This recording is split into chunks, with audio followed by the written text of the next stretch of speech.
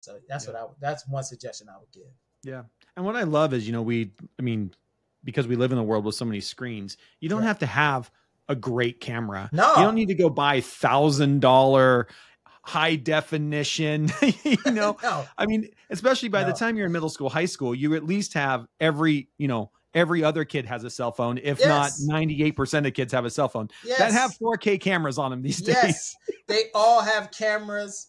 They all have ways of editing video. Yeah. There's so many free platforms. It's, it doesn't make sense. You don't have to go get. I remember I was talking to this one group. They were like, "Which tablet?" I was like, "I'm all. I'm always an advocate of. I don't care. It doesn't matter. You Yeah. know what I mean? I, I, whenever we're doing workshops and we have to like um get an organization to buy equipment, I'm like, I'm like, let's go get the cheapest thing Yeah. because I'm, I'm always a fan of understanding the basics. If they want to build from there, if they Yeah. want to go up to a six hundred dollar camera or a thousand dollar editing software, Yeah. fine.